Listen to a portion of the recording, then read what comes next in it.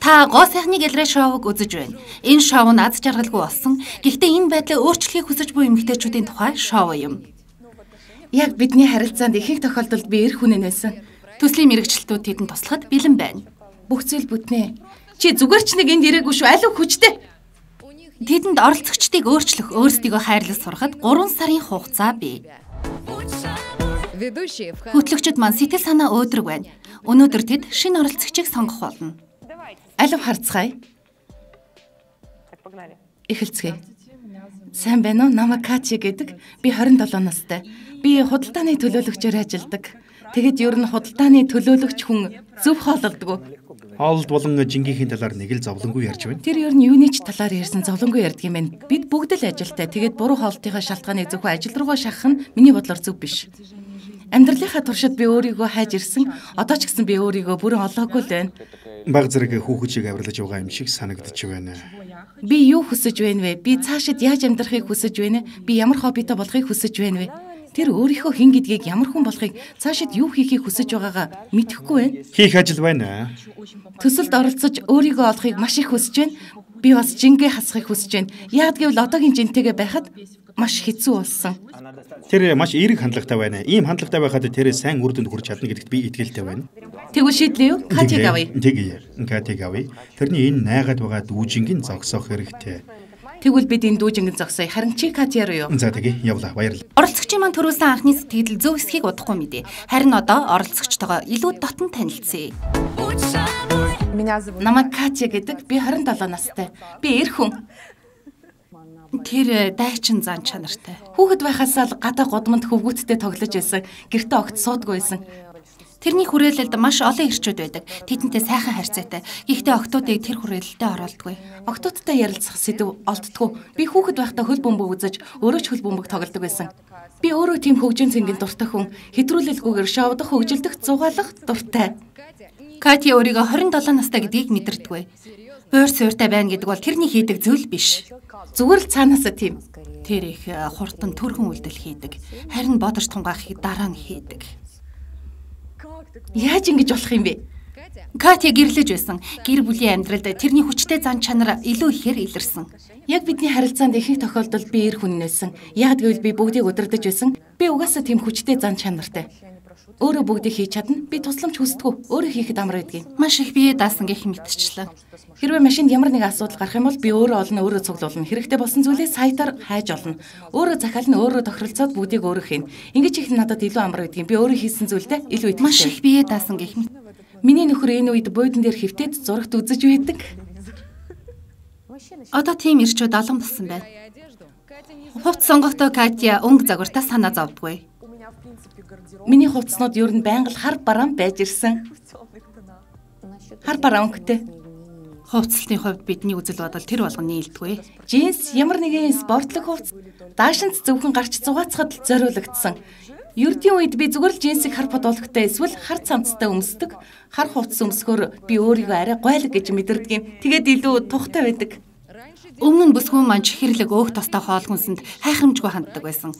Гэтэл нөхөрт гарснаас хойш нөхцөл байдал өөрчлөгдсөн. Нөхөрт гарснаас хойш би жингээ нэмж эхэлсэн. Магдгүй стресс байнгын хэрүүлээс болсон байх.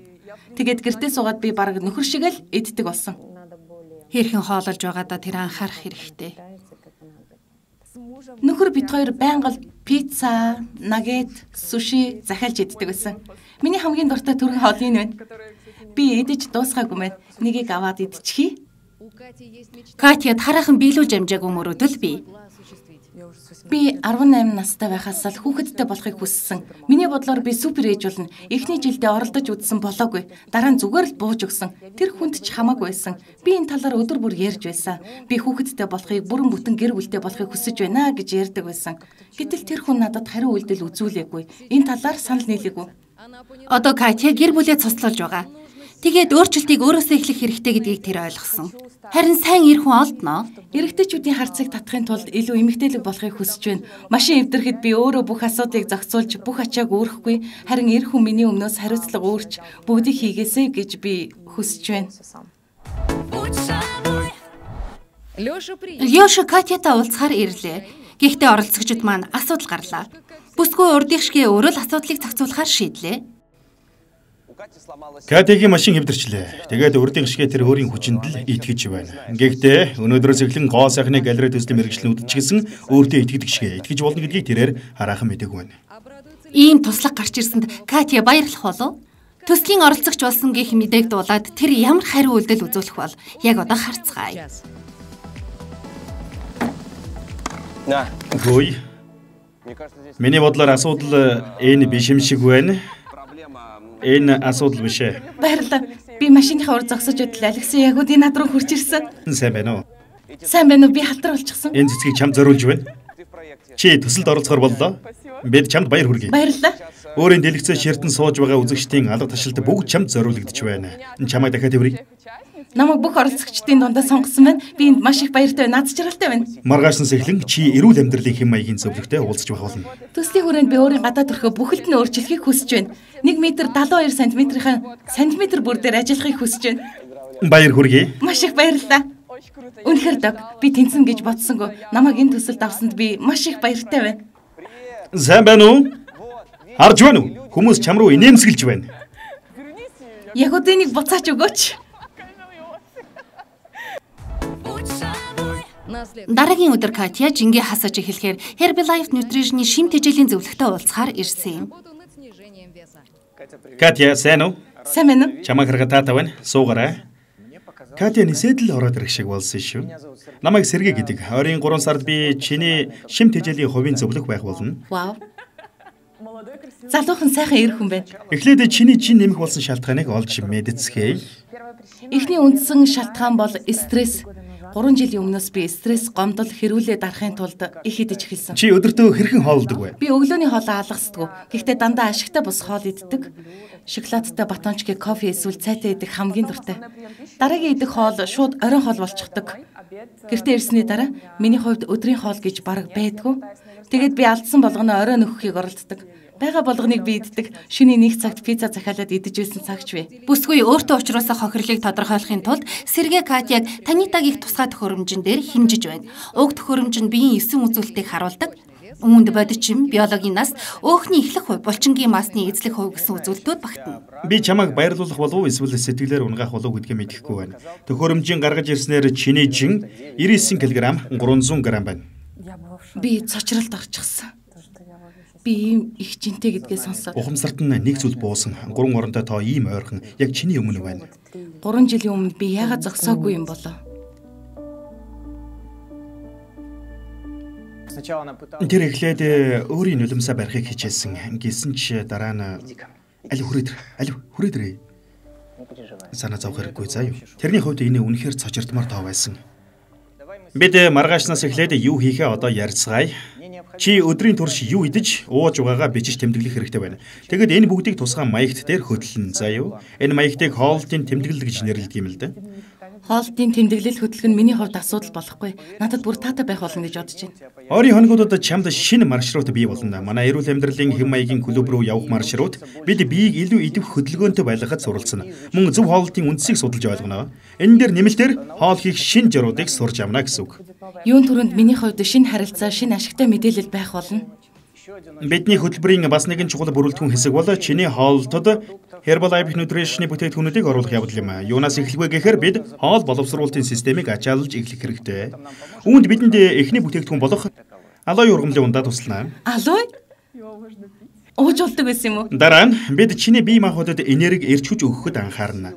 Үүнд бидэнд хоёрдугаар бүтээгдэхүүн болох ургамлын цай тус болох болно. Надад таалагдж байна. Би ургамлын цайнд дуртай жин хасах хөтөлбөрийн хамгийн чухал бүрэлдэхүүн хэсэг бол уургийн коктейл юм. Тэгэхээр энэ коктейлээр өдөрт идэх хоёр хоолыг орлуулж болно.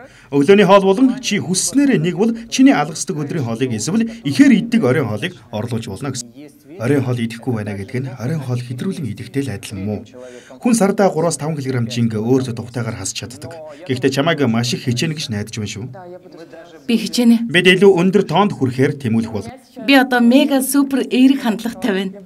Би бүгдийг максимум чармаалтаар хийх болно. Маргаашнаас бид ажилдаа орно. Ура. Дараагийн өдрийн өглөө Катя маань Herbalife Nutrition-ы уургийн коктейлийг бэлтгэснээр эхлүүлж байна. Одоо өөрийн хийсэн коктейл амсаад үзье.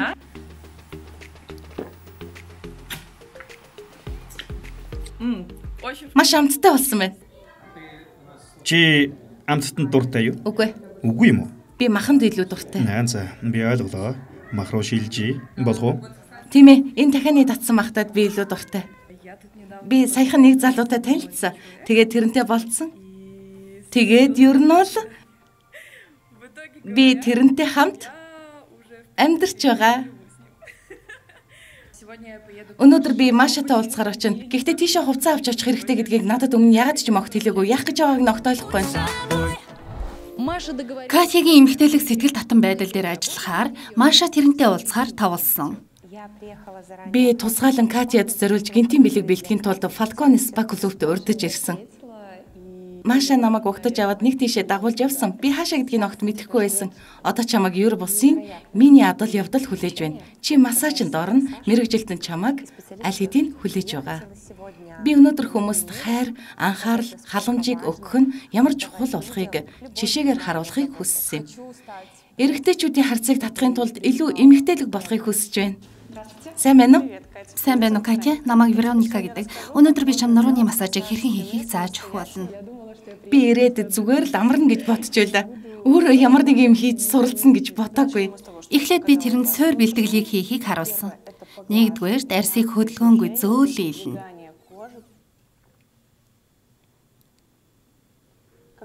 Би баг зэрэг халсан байхыг мэдэрвэл энэ хөдөлгөөнийг 3 удаа хийнэ. Аль аль талаас нь Ямар хөдөлгөөн хийгээд байгааг нь ойлгомжгүй байсан. Бүх хөдөлгөөнийг маш зөөлөн хийн. Огцом хөдөлгөөн хийхгүй байх хэрэгтэй. Төгсгөлд нь дахиад илнэ. Гараа зөөлөн салгана. Ингээд бид нуруунд массаж хийж дууслаа. Одоо чи хийж чадах байх. Нурууны массаж хийгээд үзэх үү? Ямар дараалалтай байсныг би санахгүй байна. Эндээс эхлэх үү? Тийм ээ, нурууны доод хэсгээс эхэлнэ. Удаанаар. Гараа хаашаа хийх үү? Ингээд хийх гэж оролдсон. Ядаж төстэй хөдөлгөөнүүд хийхийг оролдсон. Вероника дараа нь ямар хөдөлгөөн хийхийг, яаж дарахыг, хаана нь арай зөөлөн барихыг надад хэлж өгч байсан. Зөв байна, сайн болж байна. Төгсгөл хэсэг рүүгээ тэр миний хийж байгаа ажилд арай сэтгэл хангалуун байсан. Гайхалтай хамгийн сайн массаж гэдэг бол чи өөр дээрээ мэдэрч байгаа массажийг л хэлнэ. Байраа солихыг санал болгож байна. Тэгээ чи өөр дээрээ массажны сайхан талыг мэдэр. Сургалтын төгсгөл би тэрэнд бүтэн биеийн массаж хийж өгсөн. Жигэд зөөлөн заримдаа огцом хөдөлгөөн надад таатай байсан. Тэгээд тэрнийг босгоход нүүрэн дээр тайвширсан сэтгэл санаа нь сайхан болсон байгааг анзаарсан. Массажны дараа илүү тухтай мэдрэмж авсан гэж бодож байна. Катя маш их тайвширсан байдалтай зөөлөн болоод гарч ирсэн. Сэтгэл ямар байна яриач. Гайхамшигтай. Надад маш их таалагдсан. Би аз жаргалтай байна. Би маш их сайхан эерэг байдлыг мэдэрч байна. Энэ бүгдийг яах гэж хийснийг ч ойлгосон зөөлөн инхри байд сурахад миний нэг хэсэгт эмгтээлэг зөөлөн байдал хайр инэрл байгаа л да. Би ийм мэдрэмжийг өгч чадна. Гэхдээ миний бодлоор миний ийм тал хангалттай их биш вэ. Би бүрэн илэрхийлж чадахгүй байна. Кати одоо шинэ найз залуутайгаа шинэ харилцааг эхлүүлж байгааг би мэднэ. Тиймээс би тэрнийг өмнөх алдаануудаа тавтаасаа гэж хүсэхгүй байна. Ирээдүйд өөрөө эр хүндээ массаж хийж өгөхийг хүсэж байна. Би зөөлөн инхри байхыг хичээнэ. Катя гэртээ харьсан. Одоо сэтгэлээ хуваалцахад бэлэн болсон байна. Маша намайг спа салон руу ирсэн. Тэгээд би өнөөдөр массаж хийж сурсан. Энэ сорилт юу надад таалагдсан. Би сурсан мэдснээ өнөөдөр орой найз залуу дээрээ туршиж үзэх болно. Болох хэсгийг харъя. Хоёр хоногийн дараа би тэрнтэй хамт амралтаар явах ёстой гэж тэр надад хэлсэн. Яагад гэвэл би амрах завсарлага авах хэрэгтэй. Тэгээд Бид одоо чемданда бүх юма бэлдээд Египт рүү нисэн. Өнөөдөр сэргээтэй уулзсан. Тэр намайг э, зэмэлсэн. Яагад гэвэл өчигдөр орой би найзуудтайгаа гарч нилээд зугаатсан. Тэгээд жин нилээд нэмэгдчихсэн. Нэг өдрийн дотор ийм их идэж, ийм их жин нэмнэ гэж би огт төсөөлөөгүй. Би саяхнаас шинэ найз залуутай болсон. Тэр жоохон хүүтэй Хүүхэд миний сэтгэлийг маш их татаж байгаа. Тэгээд би ч гэсэн удахгүй өөрийн хүүхэдтэй болж аз жаргалтай байхыг хүсэж байгаагаа ойлгож байна. Маргааш миний хүсэн хүлээсэн Ёшатай хийх зураг авалт болно. Би тэрнийг хараад баяртай байх болно. Хаашаа явах талаар ямар ч таамаг алга. Маргааш очиж ижил юу болохыг харъя. Катята хөнгөн орчин чухал сэдвээр ярилцахаар Ёша тэрнийг урьсан. Чамайг хүүхэд хүсэж байгааг бүгд мэднэ. Би 18 настай байхаас л хүүхэдтэй болохыг хүссэн. Миний бодлоор би супер ээж болно. Өнөөдөр чамайг хүүхэдтэй харилцан ярилцахыг санал болгож байна. Тэгээд тэд төгс ээжийг хэрхэн төсөөлж байгааг олж мэдэх даалгавар өгье. Вау. Ястадаг. Сайн байна уу хүүхдүүдээ? Сайн байна уу? Сайн байна уу? Ёша намайг олон хүүхдүүд сууж исэн танхим руу авчирсан. Бүгдээрээ танилцъя. Чамайг хэн гэдэг вэ? Яра. Хүүхдүүдээ та нарыг хэн гэдэг вэ? Кирилл. Ах トゥ хоёр. Би хүүхдүүдтэй яаж харьцах вэ? Би үргэлжил хүүхдүүдтэй хэл ам олдог. Өөр ямар асуултууд асуух вэ? Ээж хизээд нэг асуулттай байдаг. Дахиад нэг асуулттай байдаг. Намайг болон шахчихлаа. Тийм ээ би бүр бодолчихсан. Би зүгээр даалгаврын утгыг ойлгосонгүй. Хүүхдүүдтэй харилцан ярилцахыг санал болгож байна. Тэгээд тэд төгс ээжийг хэрхэн тусалж байгааг олж мэдэх. Тэр байнга л өөр юу асуух юм бэ гэж байсан. Хүүхдүүдтэй хамтаага цалгарч байна. Үгүй ээ би цалгардаггүй. Би хүүхдүүдэд ямар асуулт тавих вэ гэдэгтэй л цалгардаж байна. Ер нь насанд хүрсэн хүн асуух асуултаа хийцээд олон доо. Би ингэж байдаг юм аа. Яадаг гэж Хөшчихдэг. Тэрэндээ хэцүү хүн байсан. Миний бодлоор харьцаг тэрэнд хэцүү байсан. Миний асуусан эхний асуулт бол ээж хүн яаж харагдах ёстой вэ? Ээж хүн яаж хувцлах ёстой вэ? Тэр юу өмсөх хэрэгтэй вэ? Даашинз. Ердийн үед би зүгээр л джинсийг хар футболктой спортлог ээж зөв үү? Бага болгоныг би иддэг. Шүний нэг цагт пицца захиалаад идэж байсан үе байгаа. Танай ээж ямар ажил хийдэг Загвар зохион бүтээгч. Би худалдааны төлөөлөгчөөр ажилладаг. Эхний бүх үзүүлэлтээр би тохирч байна. Ээж хариуцлагатай байх ёстой юу гэж асуудаа. Хариуцлага гэж юу болохыг надад тайлбарлаад өгч чадах уу? Тэр их хурдан төргө үйлдэл хийдэг. Харин бодож тунгаахыг дараа нь л хийдэг. Тэр яг л хүүхэд шиг. Миний мэдснэр шүү дээ. Тэрний хүүхэдтэй харьцаж байгаа байдал нь яг л хүүхэд шиг. Тэгэхээр би зүгээр л хүүхдийг хүүхэдтэй харьцуулахаар авчирсан болж таарч байна. Хариуцлага гэдэг үгний утгыг мэдэх хүн байна Би уу? мэдэн. Хариуцлага гэдэг бол анхаарал. Хариуцлага гэдэг бол тэр өөрийн хүүхдүүдийнхээ нөхрийнхөө өмнө хариуцлага хүлээхийг хэлнэ. Хариуцлага гэж юу болохыг таамаглаж байгаа өөр хүн байна уу? Бүжихэн минь чамд уйдгартай байна уу? Машинаар тоглох уу? Хүсэж байна уу? Хариуцлагын талаар асууж эхлэхэд мэдэхгүй юм аа. Магадгүй би өөрөө ч хариуцлага гэж юу болохыг бүрэн ойлгоогүй. Би бүр бодолчихлаа. Би баг зэрэг сатаарчихлаа, тийм ээ. Тий. Би маш хариуцлагагүй байгааз Тийм ээ. даалгавраа биелүүлж чадахгүй. Хариуцлагатай үйлдэл хийх ёстой гэдэг нь энэндээ хүрээгүй байна. Гэхдээ хэн мэдлээ тийм үстэй.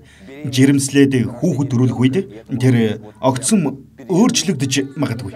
Ээж хүнд хамгийн гол нь юу байх ёстой вэ? Энийг маш сайн бодоорой. Хайр. Тэр та нарт хайртай байх ёстой. Хайрлах. Хамгийн гол нь Би өөрийн хүүхэдтэй төгс ээж байх болно гэж бодож байна. Хэрвээ би хүүхэдтэй болвол би хүүхдийнхээ төлөө чадах бүхнээ хийх болно гэдгээ би маш сайн мэдж байна. Энэ бол 100% баталгаатай. Хүүхэд гэдэг бол гайхалтай. Ямар ч олимпийн медалаас илүү. Гэхдээ намайг сонсоорой. Хүүхэд гэдэг бол байнгын Тийм ээ. Энэ үнэхээр том хариуцлага. маш том хариуцлага. Тэгээ заримдаа өөрийгөө ч гаргуунд нь гаргах хэрэгтэй болдго юм шүү дээ. Катя өөр дээрээ зарим дүгнэлтүүдийг хийсэн. Өөрийгөө хөндлөнгөөс харсан тэрэнд юу хэрэгтэй, юу хэрэггүй гэдгийг тэрээр ойлгох байх. Цаашид чи жолооны хүрдээ өөрөө атгаж амьдралаа залж чиглүүлэх болно. Гэхдээ илүү нухастайгаар Тэгье. яг гэвэл эн чинь аз жаргал шүү дээ. Хичээнэ. Ойлголоо. Төгс ээж болохын тулд би зүгээр л хүүхэд төрүүлэх хэрэгтэй. Энэ хангалттай байх болно. Яг гэвэл миний хүүхэд төгс ээжтэй байна гэж бодон үүнийг хүн бүрд ярьж байхын төлөө би боломжтой бүгдийг хийнэ. Яшатай уулзсан, яваад очиход тэнд олон хүүхэд байсан. Энэ сорилт надад маш их таалагдсан. Ялангуяа хүүхдүүдтэй ярилцах нь би энэ өдрийг яг ийм байдлаар өнгөрөөсөндөө маш их баяртай байна. Сайн байцгаана уу? Би аль хэдийн Египтэд ирчихсэн байна. Цаг агаар үнэхээр сайхан. Энд үнэхээр дог, сэтгэлд таатай байна. Биднийг маш сайхан угтаж авсан.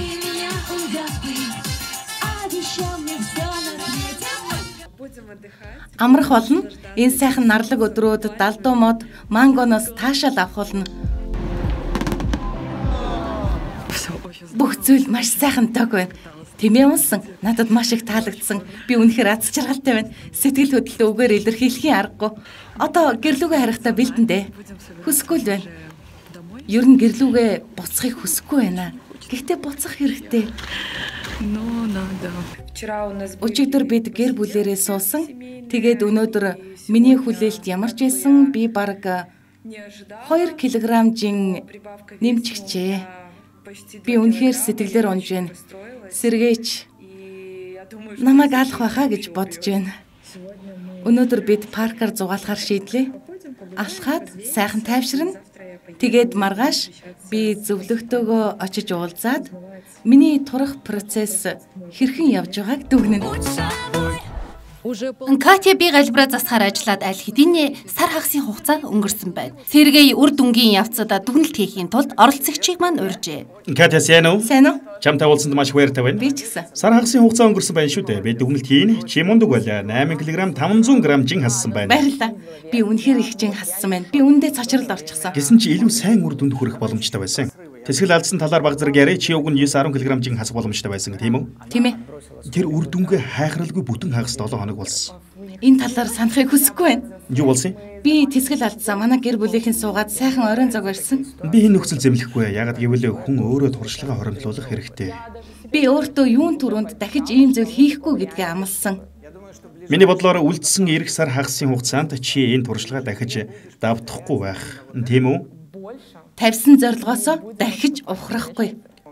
Өнөөдөр надад чамд зориулсан гинтийн бэлэг байна. Би чамайг нэг жортой танилцуулахыг хүссэн юм. Энэ жор нь чам шиг залуухан, эрч хүчтэй хүнийг сэргэг байхад туслах юм. Энэ ундаа нь урам зоригийн цэник гэдэг нэртэй. Супер. Herbalife Nutrition-ы жорын номон дах жорууд нь маш ашигтай. Өнөөдөр бид энэ номны жорын дагуу бэлтгэн. Бидэнд 2 стакан хэрэг болно. Бид хоёулаа уун шүү дээ. Хэрвээ надад маш их таалагдах юм бол би нөгөөдгөн ч гэсэн уун. Тохирлоо. Ундаанд маань олон төрлийн орц орохгүй. Ус, нимбэгний амттай ургамлын цай. Зөв. Тийм ээ, санаа зовлтгүй, муухай болохгүй заа юу. Шүүс нь манай ундаанд алимны амт оруулна. Мөс хийж болно. Тэгээд жүрж эсвэл мандринаар чимгэлж болно. Амсах уу? За амжилтын төлөө ууцгаая. Тэгье. Тэгээд олж авах энэ эрч хүч чамайг зориг руу тэмүүлэхэд чинь туслана. Ундаа үгээр хэлхийн аргагүй амттай болсон. Цитрус үнэхэр амт нэмжээ. Тийм шүү. Сэргээсэн. Миний сэтгэлийг сэргээх шиг л болсон. Энэ ундааг чи байнга л хийж ууна гэж бодож байна. Үнэхээр супер тэгнэ. Би ажил руугаа хийгээд авч явна. Юунаас ч татгалзалгүйгээр амьдарч болох юм байна. Нэр үнэхээр ямар амттай юм бэ? Өөрийгөө даванд хилээд жингээ хасна. Бид одоо арай төрөлх хэрэгтэй. Төслийн дунд гарснаас илүү сайн үр дүн гарах хэрэгтэй. Би зөвхөн урагшаа гэсэн хандлагатай байна. Сергей бит хоёр өнөөдөр энгийн бус газар уулзсан. Тэр намайг галтхоор уурсан. Бид тэнд маш сайхан сэргээдэг коктейл бэлдсэн. Би тэр ундааг гэртеч гэсэн хийж гэрийнхнээ дайлах болно. Сергей, Сергей миний ахиц ямар байгаа талаар хэлж өгөөч. Чиний тоонууд бүгд сайхан буурч байна. Эндээс хараарай. Би чиний тоон үзүүлэлтүүдэд үндэслэн график хийсэн байгаа. Чиний жин шууд буурч эхэлсэн. Дараа нь эхний 7 хоногт их чин хассан учраас түүнийгээ барих хэрэгтэй болсон. Тэгээд үргэлжлүүлээд жингээ хассан. Ер нь бол бид маш сайн явж байгаа. Би хөнгөн жинтэй болж байгаадаа их баяртай байна. Одоо намайг бүрэн тэрхэхэд ямар ч асуудалгүй болсон.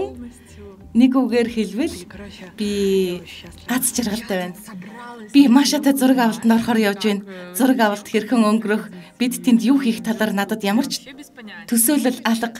Маша маань бидэнд өөрөө бүгдийг ярина. Катяд эмэгтэйлэг тачаангуй байдлыг мэдрүүлэхийн тулд би өнөөдөр тэрнийг дуудсан. Катя, төсөл эхлэхээс л чи уян хатан тачаангуй байхыг хүснэг би мэдэж байна. Тийм ээ зөв. Тиймээс өнөөдөр чи Бродвей бүжиг сурна. Би цочролд орчихсон. Та нар надаар тоглоод байна уу? Бүр илүү цочрол.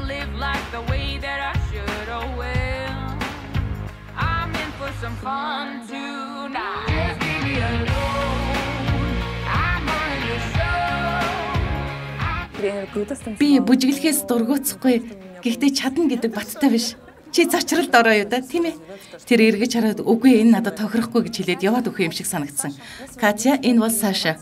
Тэр өнөөдөр чамд хэрхэн өөршигээ тачаангуй байхыг зааж өгнө. Гайхалтай. Болох эсгийг мэдэхгүй байна. Чи яваад хувцас солиод ир. Саша чамайг энд хүлээж байна. Эндээс арилах хэрэгтэй гэж тэр бодсон байх. Катя хоёулаа эхлээд бие хаалгая. Дараа нь бүжиг рүүгээ орцгоё. Би халаалтаа хийгээд дуусгаж болох уу? Энэ халаалтаа хийгээд дуусгаж болох уу? Ингээд л дуусаа гэж бодсон юм. За одоо хоёулаа бүжиг рүүгээ орцгоё. За, Дагаад хийгээрэй. Зүүн хөл дээрээ зогсно. Баруун хөлийн өвдөг баг зэрэг нуглаад суун. Миний чигчэн уруу өвдөж байна. 1 2 3 Дөөрөө. Тэгээд гараа ийшээ аваачна. Ингээд үү? Зүүн гараа хажуу талдаа, баруун гараа өөрийн урд авчирна. Чи маникюра хүнд харуулж байгаа юм шиг хорогоо тавина. Дахиад эхлэе. Би аль хэдийн бүгдийг мартчихлаа. Би арай амар байна гэж бодсон юм. Инхээр миний нуруу Гараараа үсээ хураагаад биеийн жингээ нөгөө хөл дээрээ шилжүүлнэ. би энийг чадахгүй. Би зүгтмар л энэ шүү. Оролдоод үзье. Миний хятнаад байна.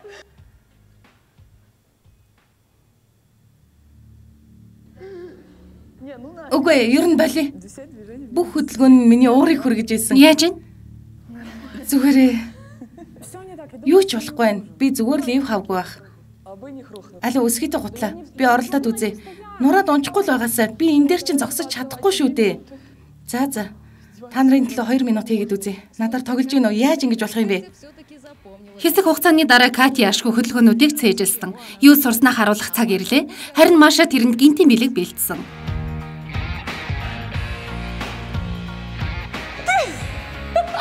Дверь открывается. Хаал гонгоход Маша миний Виталикийг дагуулад ороод ирсэн. Тэр үед би бурхан минь л гэж бодсон. Би шоконд орсон. Би мэдсэн юм аа. Өргөжлүүлээд байгаарэ. Үгүй ээ, би хүсэхгүй байна. Би чадахгүй. Та нар тоглоод байна уу? Үгүй ээ, аль бүжиглээрэ. Тэр мэдээж хэрэг ичиж байсан. Би бүжиглэхээс татгалзсан. Яг гэвэл би ичиж байсан. Чи зүгээр үү? Эсвэл та нар ямар нэг юм сэтгсэн юм уу? Зайлв урагшаа. Бики сандраа. Би тэрний өмнө суулт хийж чаддгүй. Харин та нар намайг бүжигл гэх юм. Үгүй ээ, намайг энд ганцаараа байгааг бод төсөлж. Би гэрте байхдаа ч ичдэг. Гэтэл иймд тийм бүжиг хийн гэдэг. За за боллоо. Би чамайг зүгээр л гэрте алъя. Тэр тайвшраад сурсан хідэн хөдөлгөөнөө хийсэн.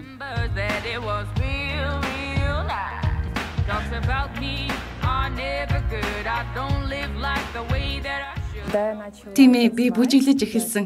Би өөрийгөө арай эмгтээлэг байгаагаар мэдэрсэн.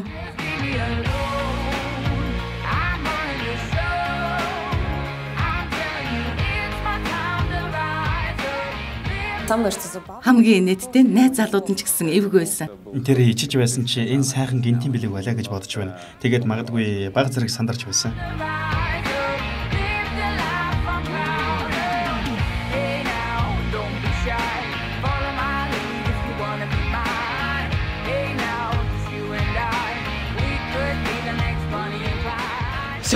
Дуслаа. Гэрлүүгээ явъя. Тэрний хэрхэн бүжгэлдгийг анх удаа л харлаа. Намайг үнэхээр гайхшрууллаа. Надад таалагдсан. Ер нь бол би тэрэнд ухаангүй татагдчих байсан. Супер. Тэгсэн ч гэсэн би чамайг гэрте хална. Бүжигэндээ орсны дараа би өөрийгөө илүү эмгтээлэг, өөртөө илүү ихтгэлтэй, илүү уян хатан байгааг мэдэрч эхэлсэн.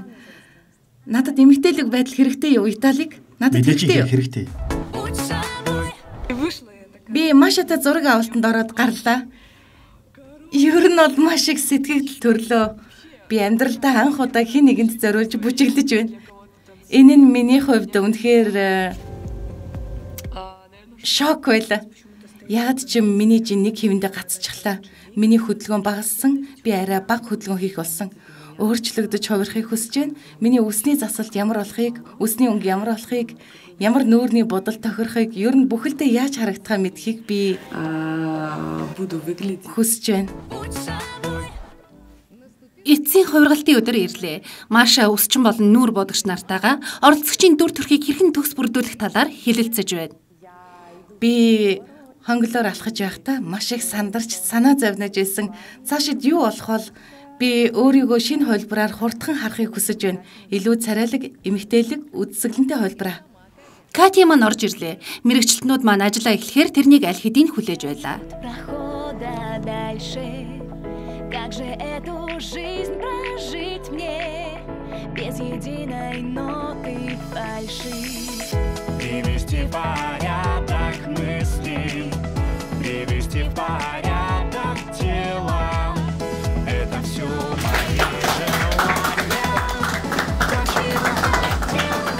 Бүгдэд нь орой мэндийг хүргэе. Оролцогч Екатеринита бид яг 3 сарын өмнө анх уулзсан. Тэгвэл Катя энэ аяллахаа хамгийн ихэнд ямар байсныг бүгдээрээ харцгаая. Төсөлд оролцож өөрийгөө олохыг маш их хүсэж байна. Би бас жин хасмаар байна. Энэ төсөлд миний үүрэг даалгавар бол оролцогчийн эмгтээлэг чанарыг нээж илрүүлэх явдал байлаа. Би тэрнийг массаж руу явуулсан. Массаж гэж яг юу гэсэн үг вэ? Зөвхөн тэрэн зориулсан массаж. Надад таатай байсан. Бидний нэг даалгавар гэвэл Катиг ирээдүйд сайн ээж болгоход туслах байсан юм ээ. Үүний тулд бид тэрний хүүхэд шиг занг хариуцлагатай байдлаар солихыг оролдоцгоос. Хэрвээ би хүүхэдтэй болвол би хүүхдийнхээ төлөө чадах бүхнээ хийх болно гэдгээ би маш сайн мэдэж байна. Та нарт хэлэхэд жинтигээ ажиллахад Катяд амар байгаагүй. Тэсвэр алдах хэцүү үе тохиох явдал байсан. Сэргээ намайг алах байхаа гэж бодож байна. Тэгээд өнөөдөр миний хүлээлт ямар ч байсан би баг 2 кг жин нэмчихжээ. Би үнэхээр сэтгэлээр унаж байна. Бид Herbalife Nutrition-ы бүтээгдэхүүнийг хөтөлбөртөө оруулсны ачаар гайхалтай үр дүнд хүрч чадсан. Гайхалтай байсан. Маш амттай байна. Тэгээд тэр одоо үр дүнгээ бидэнд өөрөө харуулах болно. Катяг тайз руу урьцгаая. Танхим руу ороход би маш их чичирч байсан. Юу болох бол би ямар харагдах бол тэсэн ядан хүлээж байлаа. Би аз жаргалыг мэдэрсэн. Үнэхээр бахархаж байна. Яагаад гэвэл тэр үзэгсэнтэй харагдаж байна. Толон дойр дойрой. Алив. Би хайж байна.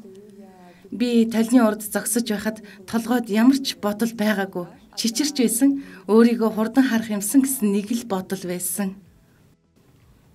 1 2-ын 3 Намайг Кати гэдэг би эр хүн. Толон дээр хөшгийг авсны дараа би эхлээд өөрийгөө харахыг хүсээгүй. Өөрийгөө харахаас айж байсан учраас би нүдэ ханчихсан.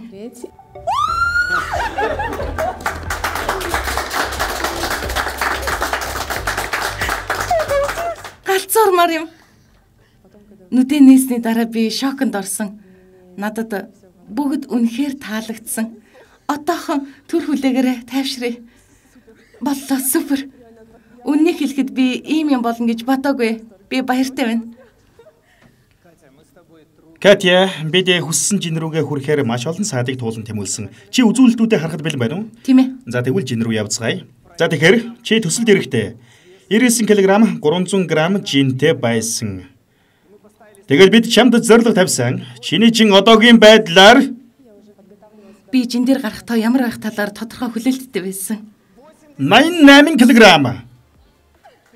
Чи төсөөлж байна уу? Энэ чинь 11 кг 300 г халсан гэсэн үг. 11 кг Би чамд баяр хүргэмээр байна. Би чамд дуулахыг хүсэж байгаа бас нэгэн тоон үзүүлэлт байна. Чиний биеийн тойрог 63 см-ээр багассан. Энэ бол үнэхээр гайхалтай. Баяр хүргэе. Сайн байна. Би илүү их хийх хүсэж байсан. Цаашид хийх ажил тэмүүлэх зорилт байна. Гэхдээ дахиад хийх ажил байгаа гэдгийг санаарай. Тийм ээ. Бид үргэлжлүүлэн хамтдаа мэрих болно. Тэгээд өөрийн шинэ үр дүнгуудаараа намайг баярлуулаарай. Би хичээх болно. Катя машин засаж чаддаг эмэгтэй дүр төрх рүү чи дахиж буцахгүй байхаа гэж би найдаж байна. Үгүй. Катя харин би чамд нэг зүйлийг хүсэж байна. Чи энэ төсөл дээр маш олон зүйлийг сурсан. Үргэлжлүүлээд улам сайжраарай. За. Гэхдээ хамгийн гол нь чиний энэ хөөрхөн инээмсэгэл инээд чинь хаашаач алгуулахгүй шүү. Баяр Маш их хүргэе. баярлалаа. Бүгд 360 градусаар өөрчлөгдсөн. Шин амьдрал, шин харилцаа, шин хайр мөн өөртөө хандах хандлага минь илүү эерэг болсон. Тэрэнд гарсан өөрчлөлтүүд надад маш их таалагдаж байна. Би төслийн бүх хамт олонд төслийн бүхий л явцад надад тусалсанд талархлаа илэрхийлэхийг хүсэж байна. Та нар надад зааж чиглүүлэн илүү эмгтээлэг үдсгэлэнтэй болгосон. Би одоо талент нөгөө том эмгэн шиг хүнийг харахгүй байна. Би одоо өөртөө анхаарал тавьж өөрийгөө арчилж байгаа. Толны өмнө зогсож өөрийгөө харах нь надад таатай байх болсон. Заново